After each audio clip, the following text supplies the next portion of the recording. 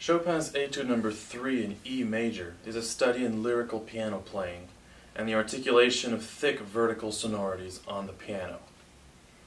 In translating it for the organ, I've attempted to give it an orchestral quality through the use of the organ's string and reed stops.